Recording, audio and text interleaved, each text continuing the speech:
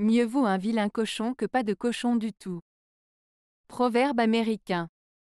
Le proverbe, mieux vaut un vilain cochon que pas de cochon du tout, signifie qu'il vaut mieux avoir quelque chose, même si ce n'est pas parfait ou idéal, que ne rien avoir du tout.